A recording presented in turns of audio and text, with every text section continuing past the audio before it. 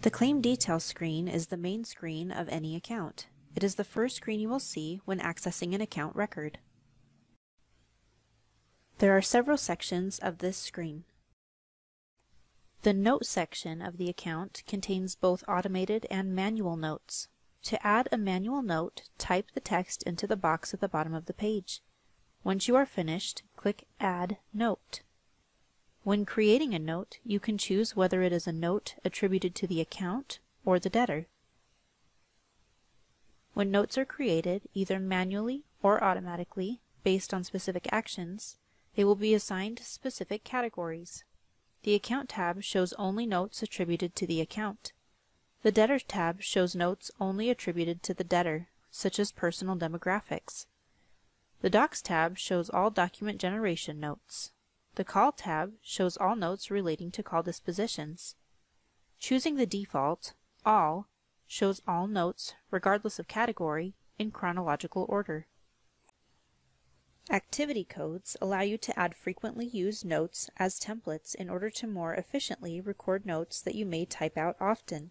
Simply choose the appropriate note from the dropdown and click Add Activity Code. The system does not provide any default activity codes, but they can be created using the blue plus sign.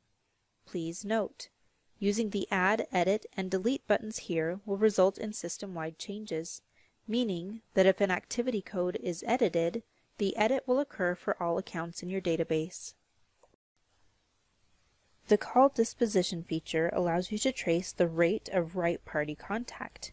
Using this feature in conjunction with Reports, call disposition reports is recommended. To use this feature, select the appropriate debtor phone number from the feature drop-down, then select the correct description of the call. Click Submit. You can customize your dispositions by accessing the Call Disposition Manager here. You can link existing accounts together using the Linking Accounts feature. First, enter your search criteria in the given fields, then click Search. Find the debtor in the given list and click the Link option. Then, to close the search results, click Close Search. You will then see the linked account listed next to Other Claims and Accounts. You will also see the total balance for all accounts linked to the current account.